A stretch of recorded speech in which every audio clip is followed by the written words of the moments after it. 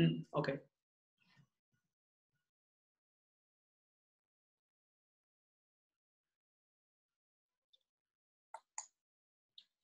Okay, so uh, maybe let's start. Uh, thanks everyone for coming. And today I'm going to talk about a new approach to network design problems. And it's widely recognized that the linear programming is the most general and powerful approach in designing approximation algorithms for network design problems. And uh, our new approach introduces uh, new ingredients from uh, spectral graph theory and the discrepancy theory uh, to the network design problem. And we show that these new elements can be uh, can significantly extend the scope and uh, of the network design problem. So this uh, talk is based on a joint work with my supervisor Lap Chi. So let's start with some background about uh, network design.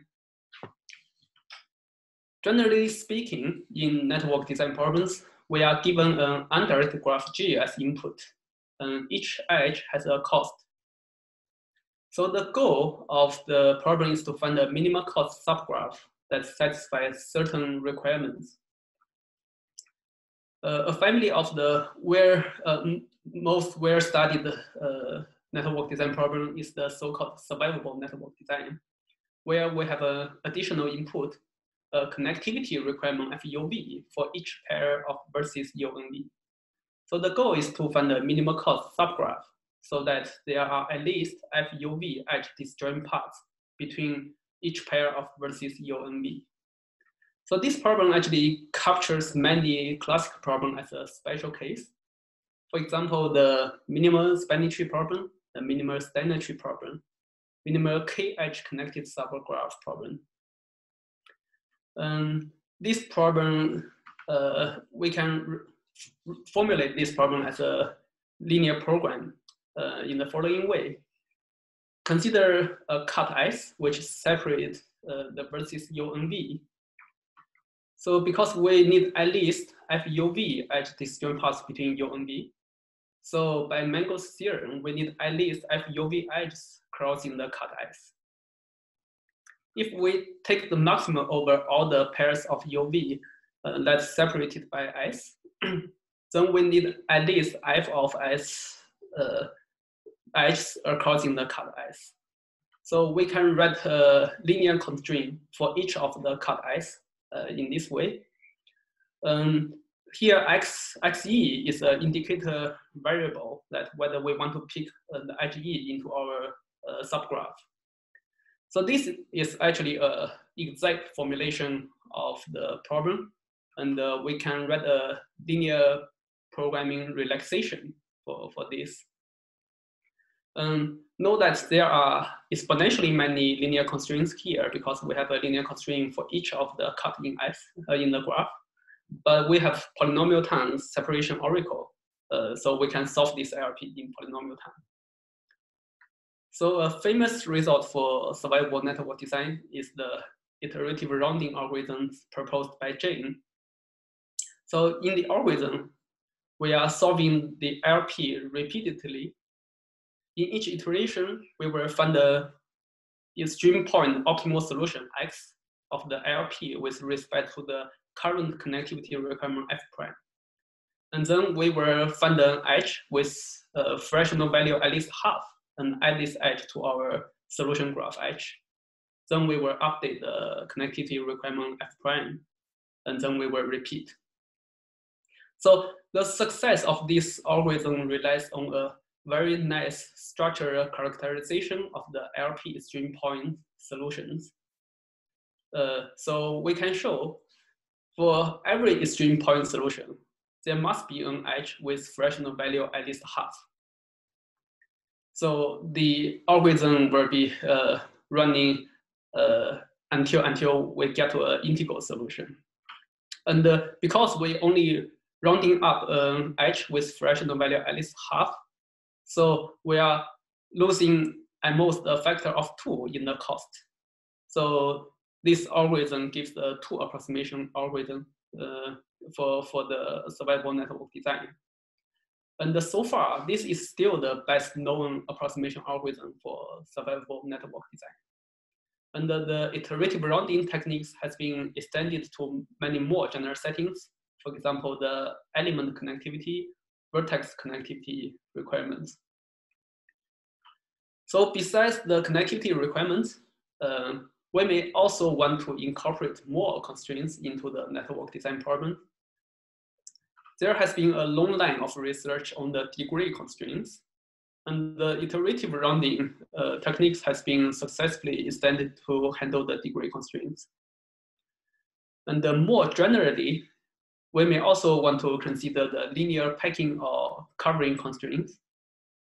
And there were some studies on uh, this type of constraints, but not much is known, especially when the uh, there's no structure underlying the, the constraints. Um, it's also natural to consider the shortest path constraints, uh, but uh, unfortunately, it's shown that it's hard to computationally approximate this problem with the shortest path constraints. Okay, so this is uh, this are just some background about network design. And then let's move on to talk about uh, our motivations to incorporate uh, the spectral perspective uh, into the network design problem and our new results. So um, although the linear programming is very powerful and very general, can uh, formulate many of the network design problems, but there are some other natural network design requirements that don't fit into the uh, ILP framework. For example, uh, the graph expansion, effective resistance, um, cover time and mixing time of a random walks on the graph, or commute time uh, between vertices uh, on the graph of a random walk. So as we know from the spectral graph theory, all these properties are related to the graph spectrum. And the spectral graph theory also tells us that uh, the eigenvalues and eigenvectors of the adjacency matrix or the Laplacian matrix of a graph actually contains very rich information of the combinatorial structure of a graph.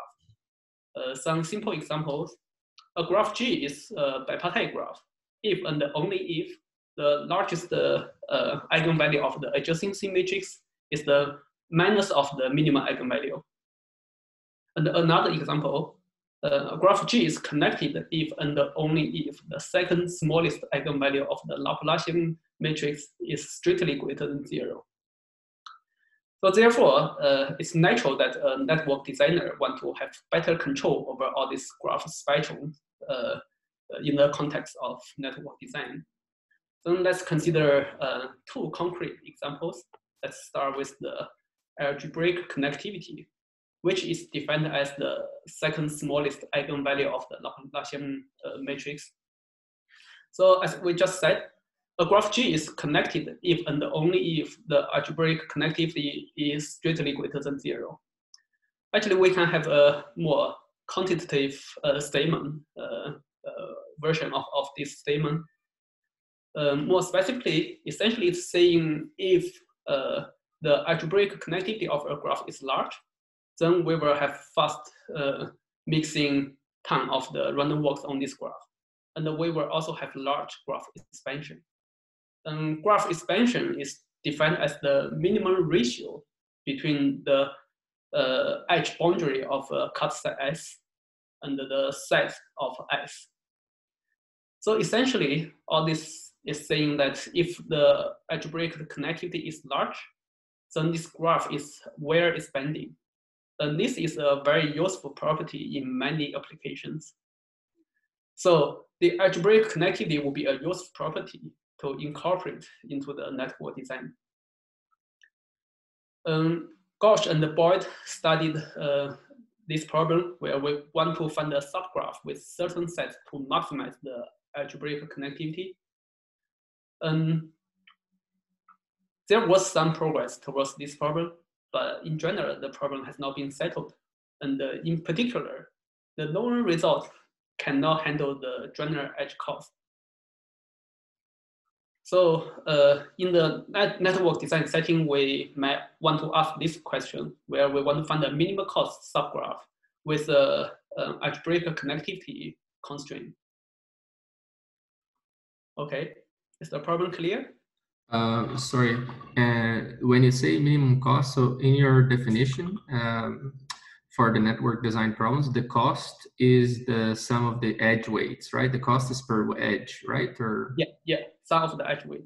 Yes. I see. So the cost of the subgraph here will be the sums of the edges that are like inside, like inside of the subgraph. Yeah, it's the yeah. Each edge has a cost CE, we are just summing over all the edges, uh, summing over all the CEs in the subgraph edge. In the subgraph. Okay, cool. Yeah, Thanks. yeah. Okay. Okay, so uh, this is the first example. And then let's consider another example, effective resistance. Uh, effect, the effective resistance between uh, 2 vertices S and T is the voltage difference between S and T when we send one unit of electric flow from S to T uh, informally, uh, it's just the resistance between S and T when we treat the whole graph as a big resistor. So effective resistance has many uh, nice properties. Uh, for example, it can be written as a, the minimal L2 energy of the unit ST flow. And uh, interestingly, the shortest path distance can be uh, can also be written as the minimal L1 energy of a unit ST flow. And the reciprocal of uh, edge connectivity can, can be written as the minimal L infinity energy of a unit ST flow. So we can think of the effective resistance as an interpolation of shortest path distance and uh, the edge connectivity. Uh, let's take a look at some more concrete example here.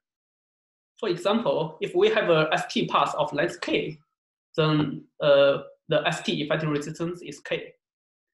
Uh, if we have k parallel ST path of length k, then the effective resistance becomes one. So the effective resistance can distinguish these two, these first two cases, but the shortest path distance cannot distinguish these two. And if we have k parallel ST path of length two, then the effective resistance becomes 2 over k. So effective resistance can also distinguish the last two cases, but the edge connectivity cannot. So in many applications, effective resistance might be a better measure on how uh, on the well connectedness of uh, two vertices. Um, there are also many other nice properties of effective resistance. Sorry. For example, the effective resistance from a metric over the vertex set in the graph. And the effective resistance uh, is directly related to the commute time and the cover time of random walks on, on this graph. And the effective resistance can also be written as the quadratic form of the pseudo-inverse of the Laplacian matrix. So this is why this uh, effective resistance is related to the graph spectrum. And uh, another nice property is that when effective resistance uh, is written as the function of the edge width x, and this function is actually convex uh, in, in x. So this will be useful when we are uh, writing a convex program for, for, the, for the problem. Okay, so recently, effective resistance also found many like uh, algorithmic applications in different problems. For example, uh, graph spectral sparsification, uh, random spanning tree generation, etc. So in the network design settings, uh, Ghosh, Boyd, and Saberi also studied a variant of the problem stated here, where uh, we want to find a minimal cost subgraph with total effective resistance bounded. And uh, with uh, other co-authors, we also studied a problem where we have a single pair effective resistance constraint. Um, but in general, uh, this type of electrical network design problems uh, less well understood, and uh, we don't have much approximation results on these problems. So ideally, we want to solve a generalized survivable network design problem, which include all the constraints, all the requirements we have talked about.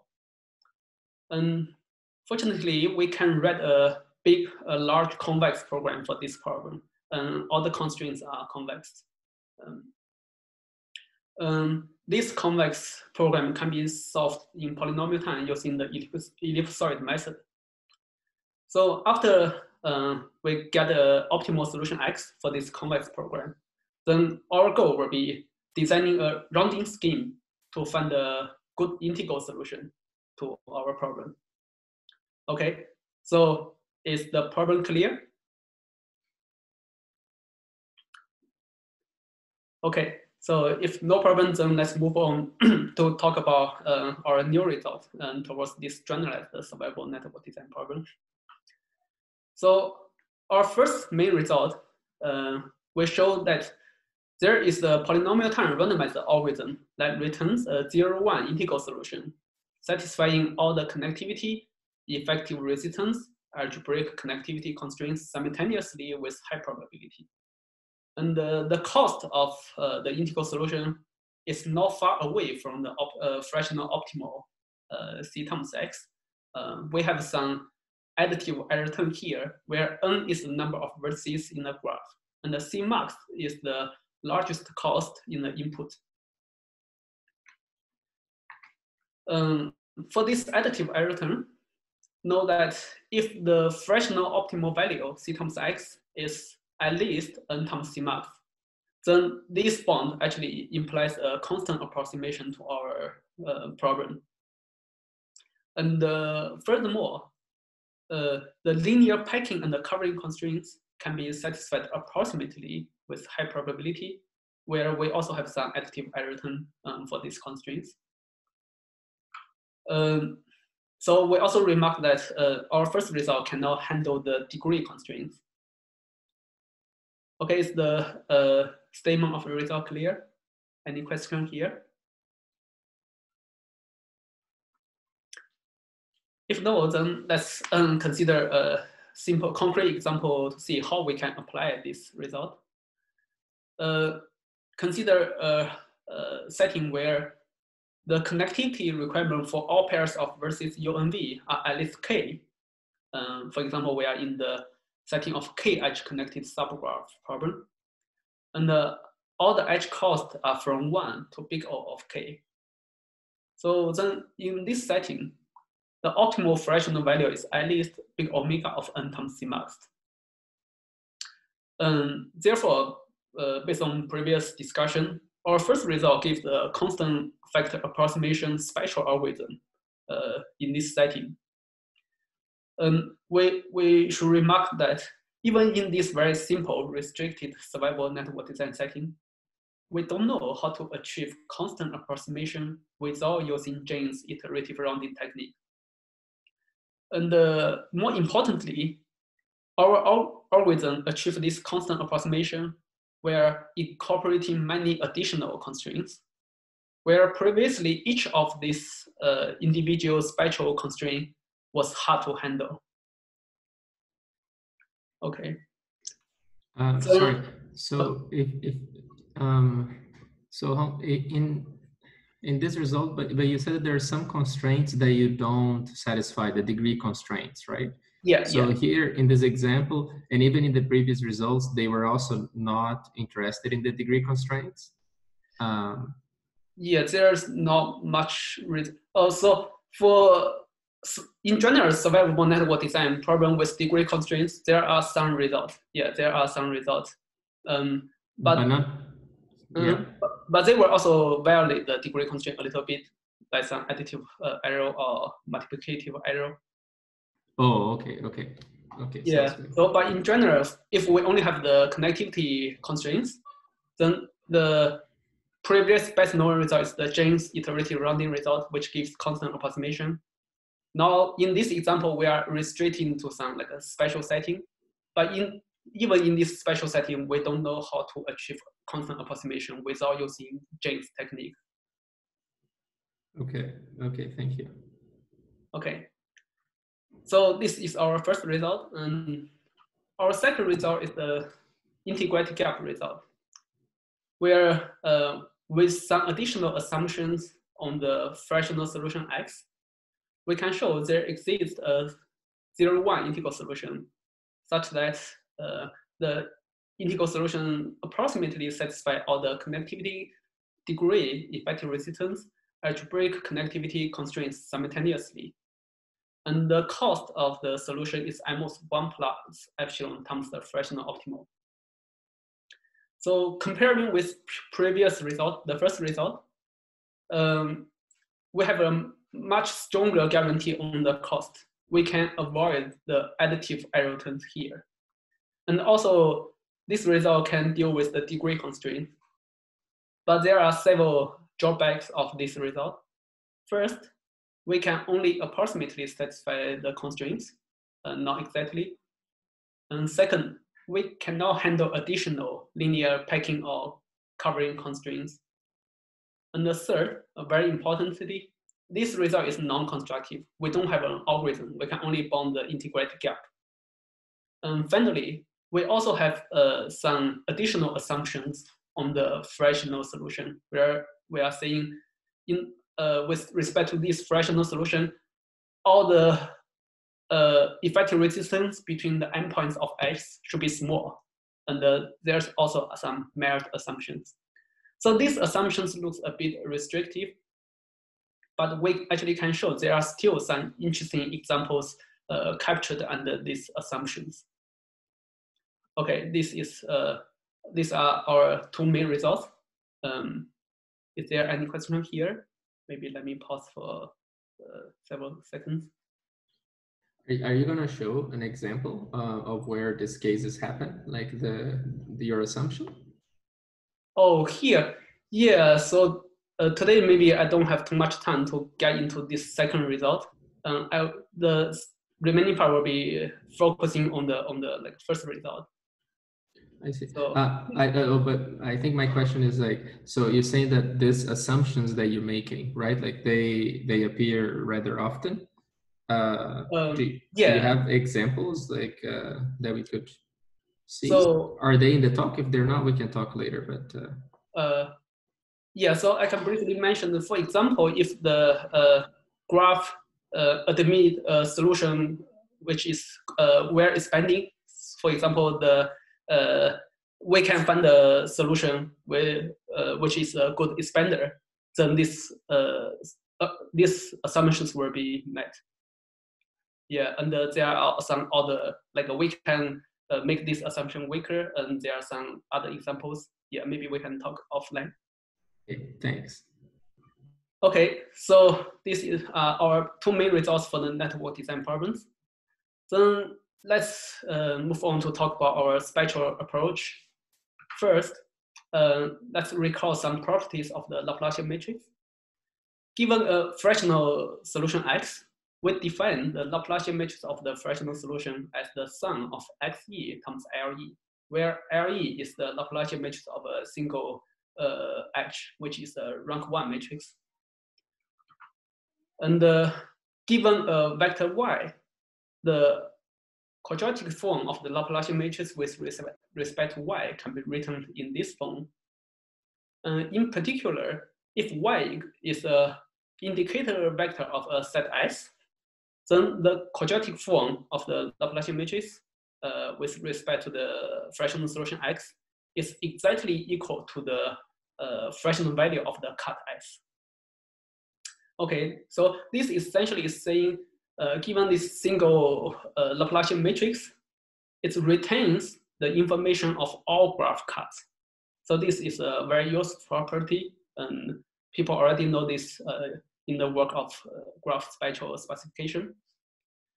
So because of this, we observe that the underlying math question uh, for the rounding scheme of generalized survivable network design problem is the following spectral, uh, spectral rounding problem where we are given a fractional solution x and a cost vector c, we want to find a zero one integral solution such that the Laplacian matrix of the uh, integral solution is approximately equal to the fractional Laplacian matrix. And the, the cost of the integral solution is also approximately equal to the fractional cost. Um, so if we can solve uh, this spectral rounding problem, then we can actually satisfy many constraints. For example, uh, if we can satisfy the spectral lower bound constraint, then we can satisfy all the connectivity uh, constraints.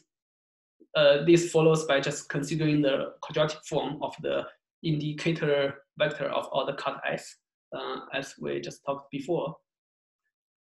Um, we can also satisfy the effective resistance constraints. Uh, this follows from like the effective resistance uh, can be written as the pseudo uh, quadratic form of the pseudo inverse of uh, the Laplacian matrix. Um, we can also satisfy the algebraic connectivity constraint. Uh, this just trivially by checking the second smallest eigenvalue of the Laplacian matrices. Um, I also remark that here, if we set epsilon equals to zero, actually we can satisfy all the constraints exactly. So if we can satisfy the spectral upper bound, then we can also satisfy the degree constraint. This follows by just uh, simply checking the diagonal entries of the Laplacian matrices.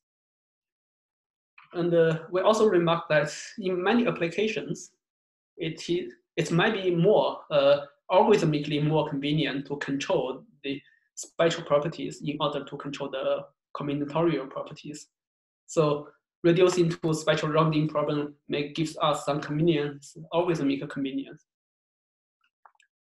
Okay, so um, our two main results about the uh, network design are just simple consequence from the spectral rounding problem. So let's uh, talk about some known results about the spectral rounding. So we first rephrase a result by Allen-Zhu, Li, Singh, and Wang uh, as follows.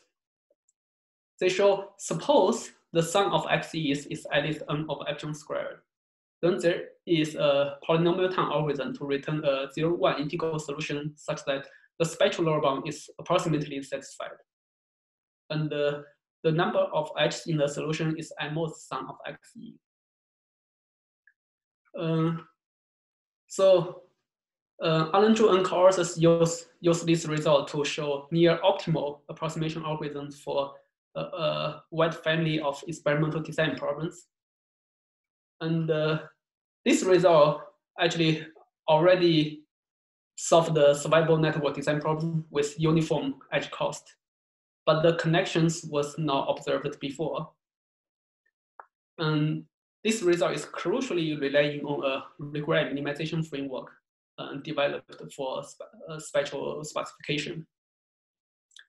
So in our paper, we generalize this result to handle uh, general non-negative linear constraints. So we show there is a randomized polynomial time algorithm to return a zero one integral solution such that the spectral lower bound is exactly satisfied with high probability. And uh, for any non-negative linear constraint C, uh, we can satisfy the linear constraint uh, approximately uh, up to some additive error term with high probability. So we remark that in our algorithm, we, we don't need to know the uh, linear constraint C in advance. So our algorithm does not depend on these linear constraints. And uh, we can handle exponentially many of, of these linear constraints because the failure probability for each constraint is exponentially small. And uh, the additive error term in the upper bound here is actually um, optimal because we can show some type example for this. Okay, so this is our result for one-sided spectral rounding. And our first main result for the network design is just a simple consequence of this theory. Um, then for the two-sided spectral rounding, um, Kyng, Luh, and Song shows that with some additional assumption on the fractional solution X, uh, the two-sided spectral rounding is actually possible. And their result uh, is based on the, uh, the method of interlacing polynomials. So it's non it's non-constructive. The we don't have algorithms for, for this problem. We can just show the existence of such an integral solution. So the statement here is not the original statement of Kyng, Luh, and Song, but it's just a direct consequence of their main theorem. Okay, so we generalize the, um, their, their result to incorporate one additional linear constraint. So we remark that here we can only handle one more, uh, maybe maybe a constant like uh, many uh, non-negative linear constraints. And uh, our proof is just a, a black box reduction from uh, rank, rank two case to the rank one case, which is studied by the Kyng, Luh, and Song. Okay, so here are our results for the spectral rounding. Uh, so any question here?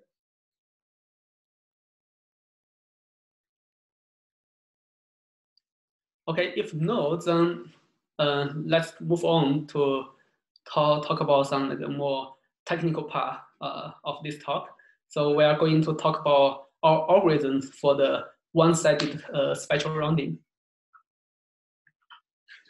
So recall that this is our spectral rounding problem where we are given a fractional solution x. We want to find the integral solution z such that uh, here we only focus on the one-sided uh, spectral bond. We want the Laplacian matrix of the integral solution is lower bounded by the uh, fractional Laplacian matrix. Uh, since each uh, the Laplacian matrix of each edge is just a rank one matrix, um, after doing a transformation, we can normalize the fractional solution to, to be an identity matrix. Uh, so we reduced our problem to this normalized version of spectral rounding. So this actually gives us some convenience because um, to satisfy this spectral uh, lower bound, we only need to bound the minimum eigenvalue of the integral solution. So instead of controlling the whole spectrum, so it's uh, more convenient for us to handle the problem.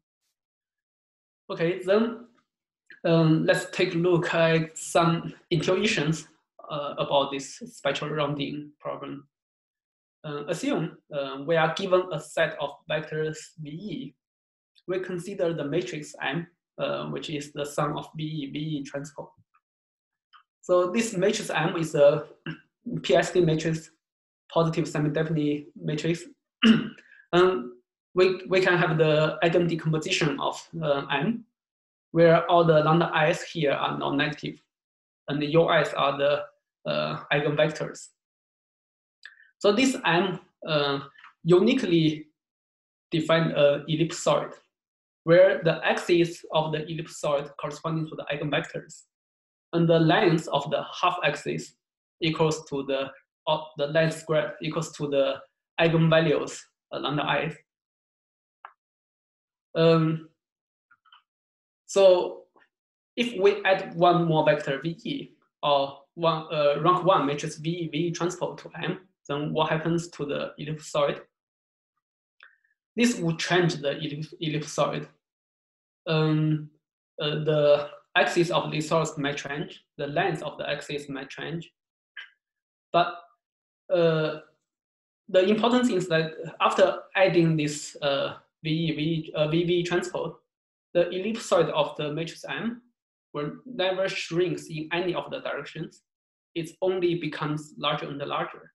And also know that uh, all the vectors here actually must be contained within the ellipsoid. So this, demo, uh, this demonstration might not be uh, like uh, the most precise, but at least this gives us some uh, intuitions. So with this picture in mind, uh, let's consider what do we want to do in the one-sided spectral rounding. So assume we are given the input vectors VE, and we, are we are promised that after rescaled by a factor of xe to each vector VE, then the corresponding ellipsoid becomes a unibore. Uh, this is our input. And uh, with this input, in the one-sided spectral rounding, we want to find a subset of vectors such that the corresponding ellipsoid completely contain, contains the unibore uh, in, in this ellipsoid. Okay, so this is some like pictures in our mind. We want to find such an ellipsoid contain the uniball. But how can we find uh, select the vectors? Assume this uh, red ellipsoid is our current solution. Um, let this AT be a density matrix, which means all the eigenvalues are non-negative and the sum of eigenvalues equals to one. Um, informally, a density matrix gives a measure of all the directions on the unit sphere. And different directions may have different priorities according to AT. So assume AT can give higher priority to those uh, directions that not well covered by the current solution. For example, this blue, uh, this blue one gives higher priority to the direction which now well covered by the by the current solution z t minus one. Then, then actually this AT can guide us to select vectors into our solution set. For example, we can select uh, a vector VET in this direction, which um, pointing to the well covered direction of our current solution. By adding this vector into our solution set, then we're improving our, our solution. Okay, so now the problem is how can we uh, find such a ZT? So our choice of this ZT comes from uh, the regret minimization framework. But today, probably I don't have too much time to get into much details of the framework. Um, for today's purpose, uh, we only need to know this AT comes from this optimization problem. Um, AT is the optimizer of, of this uh, optimization problem, where this function psi is a regular, regularization function, and alpha is a learning rate parameter, which ba balance these two terms. Um, for the regularizer psi, there are uh, different choices. A popular choice is the entropy function, um, but for today's purpose, we will use uh, L half regularizer, which is defined as this. Uh, Allen-Zhu, Liao, and Orecchia use uh, this regularizer gives an optimal bound for the spectral sparsification. And with this uh, L half regularizer, uh, we can have a closed form solution for AT here, written in this form. Where this LT, we can treat it as a lower bound um, for the minimum eigenvalue of alpha zt minus 1. And the LT is the unique value such that this AT is a density matrix. So this AT is uniquely defined. And uh, maybe let's uh, again try to get some intuition about this uh, AT. Uh, what does the ellipsoid looks like with? So assume uh, this ZT minus one, this red ellipsoid is our current solution. Um, we want to see how this rescaled uh, matrix AT looks like. So First, we shrink each axis of ZT minus 1 by a fixed amount of XLT over alpha. And then we change each the length of each half axis of the reciprocal of the sorry to the reciprocal of the current length squared according to this formula. Okay, so proof by picture so this blue, uh, blue ellipsoid actually is what we want because it gives higher priority to those directions that now we are covered. And uh, we may, may ask, why do we need this like uh, intermediate step? Um, why not we just take the inverse of ZT? So the reason of uh, subtracting LT over half uh, over alpha here is that after, after subtracting a fixed amount from all the directions, so those directions corresponding to the row eigenspace of the current solution becomes more important. So those directions of the well covered uh, directions becomes more important. We will give uh, even higher priority to those directions. So and these directions are indeed those directions we want to, which work hard to improve. Okay, so this is just some uh, intuition about the AT. So this AT will be served as a guidance for, to us to how to select our, our vectors. Okay, so uh, with this choice of AT comes from the L half regularizer.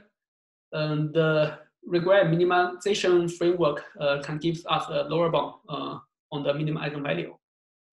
So suppose in each iteration t, we are selecting a vector VET, and then the minimum eigenvalue of sum of uh, of our integral solution can be lower bounded by this term, uh, this little bit complicated term. So for each of the term in the summation here, we call it the progress at the uh, uh, iteration t, which equals to the difference of two trace functions here. And the equality follows from the uh, Sherman and Morrison formula, uh, uh, rank one update uh, formula. So let's consider the first term here. The first term, first trace is essentially the trace of AT to the half. And this is fixed uh, at the step t once the current solution zt minus 1 is given. And then in the second term here, the red term, we are adding the current uh, the vector VET to our current solution.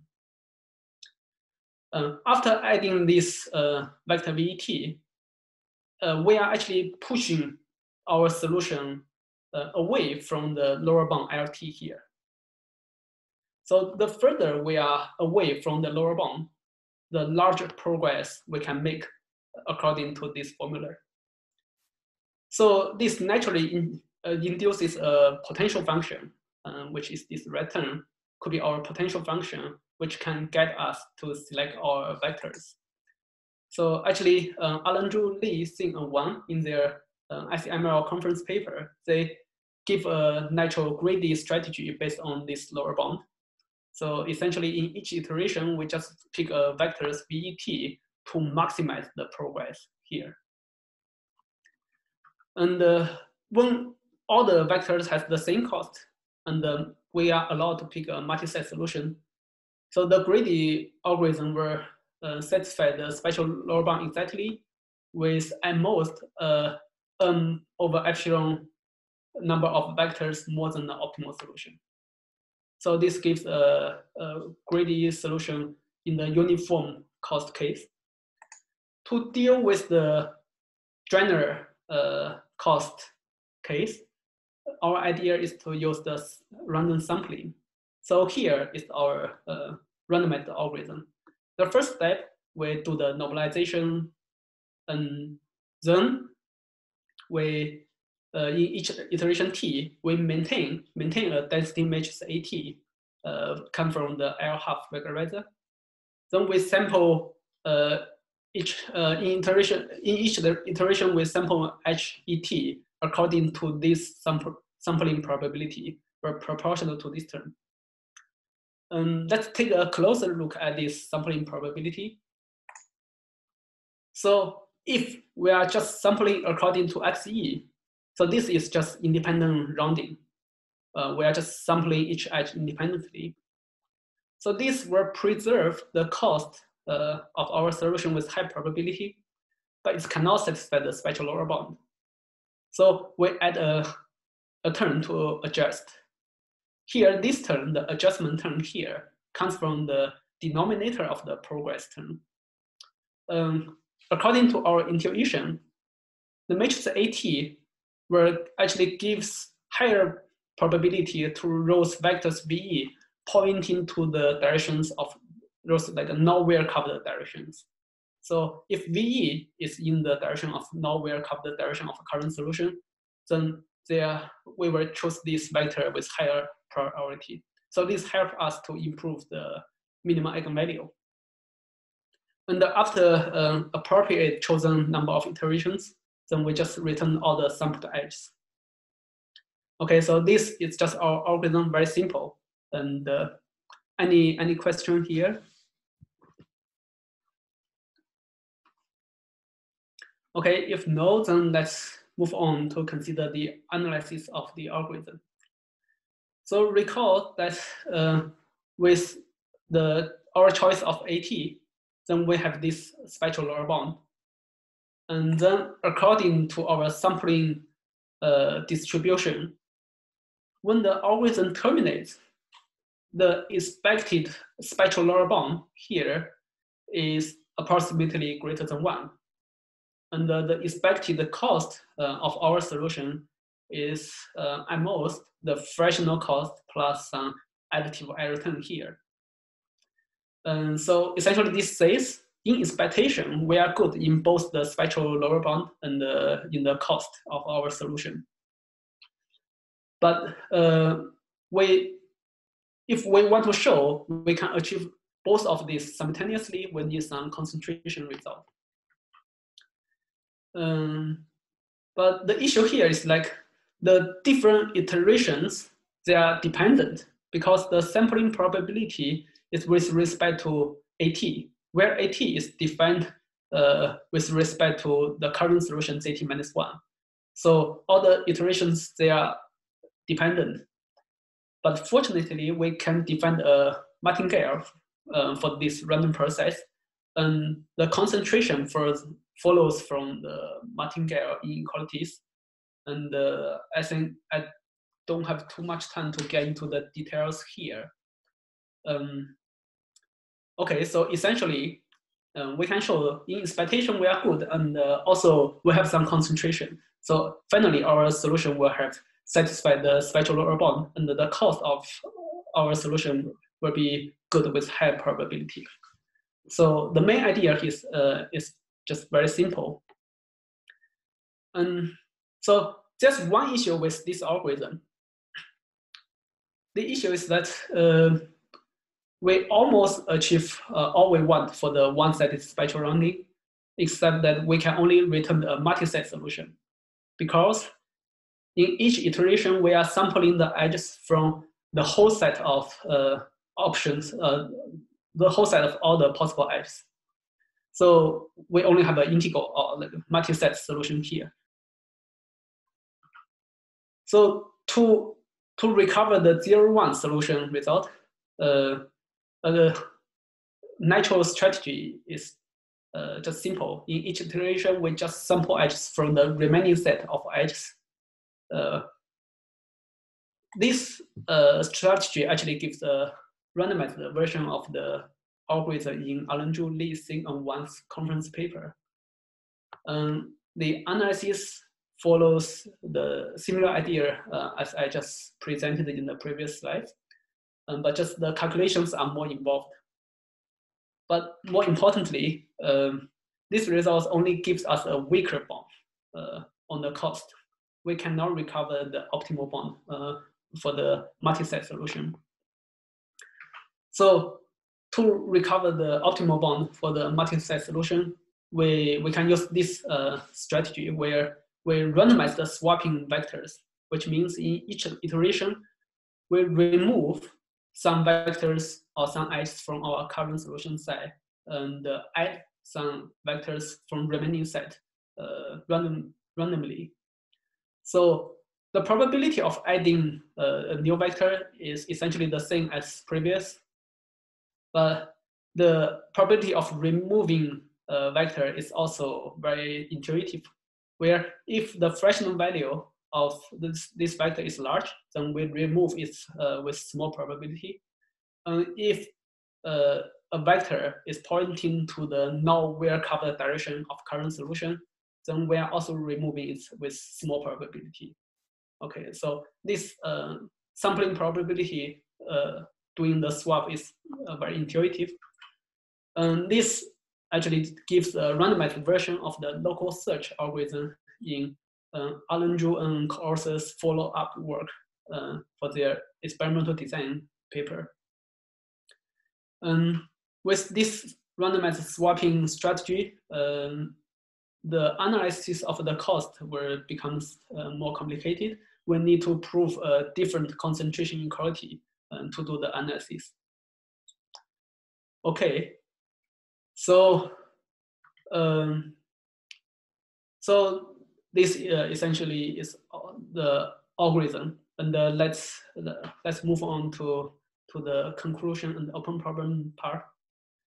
So as a conclusion, the main contribution of this work uh, is to propose a spectral approach to design an approximation algorithm for network design problems.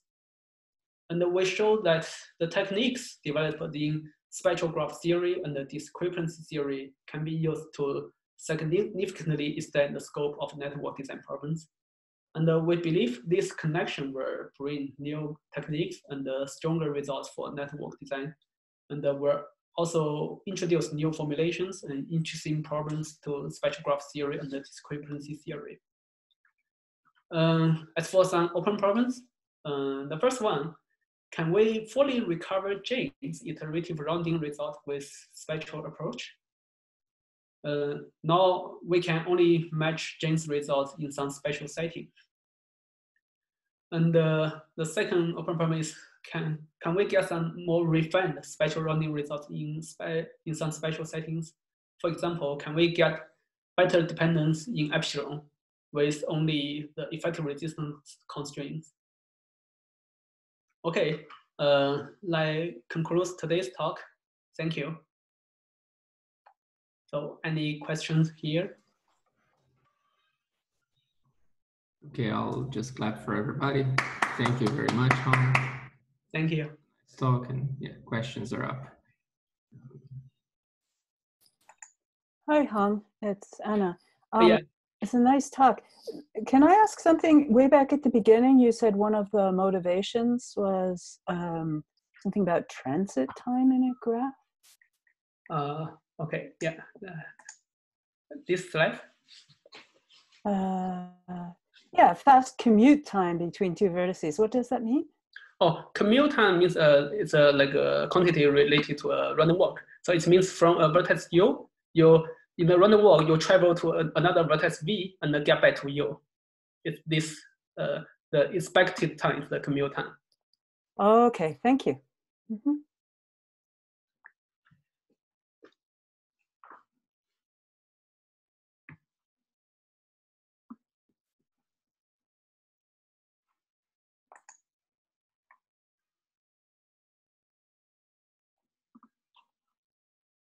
So any other questions?